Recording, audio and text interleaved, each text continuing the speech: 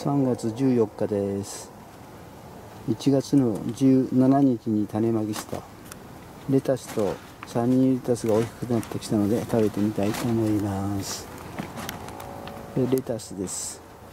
1株2本ずつ種まきしてありますのでまかないうちに1本はすぐって食べちゃいたいと思います。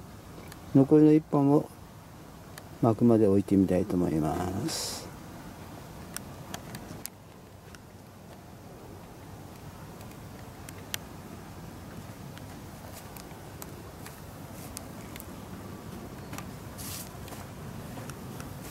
でこちらがサニーレタスです。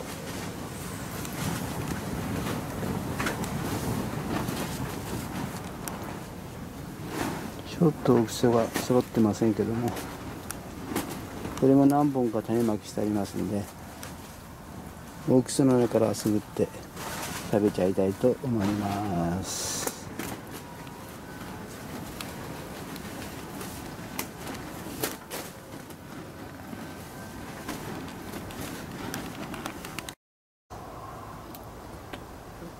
収穫したレタスです。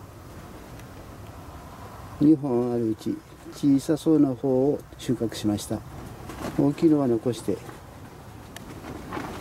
また結球するまで置きたいと思います。これは今のうちに食べちゃいます。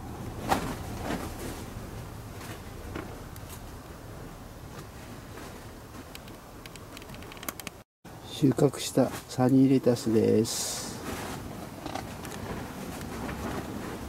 サニーレタスは大きいものから順次収穫していきます。